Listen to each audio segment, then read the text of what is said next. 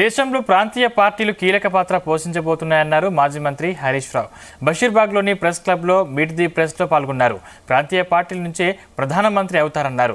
తమ పార్టీ నుంచి నేతలు వెళ్ళినా క్యాడర్ మాత్రం పదిలంగా ఉందన్నారు. నేతలు వెళ్ళడం వల్ల తమ పార్టీకి లాభమే జరిగిందన్నారు. కాంగ్రెస్కు ఐదేళ్ళు పాలించమని అధికారం ఇస్తే ఐదు నెలల్లోనే తేలిపోయిందన్నారు. ఇచ్చిన హామీలు నెరవేర్చాలని బీఆర్ఎస్ కోరుకుంటుందన్నారు.